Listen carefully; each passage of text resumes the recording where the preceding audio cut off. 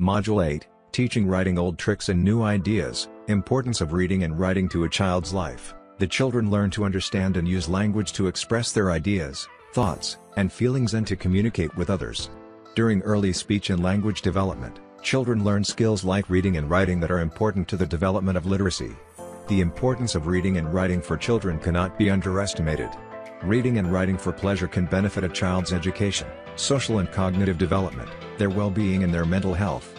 There are multiple benefits that reading can have on a child's development, including 1. Reading assists in cognitive development of a child in reference to our intelligence, reasoning, language development and information processing. 2. Reading develops empathy in children. 3. Reading helps children gaining deeper knowledge of the world around them and cultures that are different from their own. 4. Reading helps in building stronger relationships between parents and their child. 5. Reading makes their vocabulary larger and more extensive. 6. The children perform better academically. 7. Their imagination can run wild. 8. Their creativity skills develop. 9. Their concentration levels improve. 10. Their social skills and interaction improve. The multiple benefits of writing include 1. Writing is an indicator of reading ability. Expert says that when kids show an early interest in writing they will automatically enjoy reading. The connection between reading and writing runs deep. 2. Through writing your child will be able to communicate and share their unique perspective with others. 3. Writing is not a skill that children will use in school alone.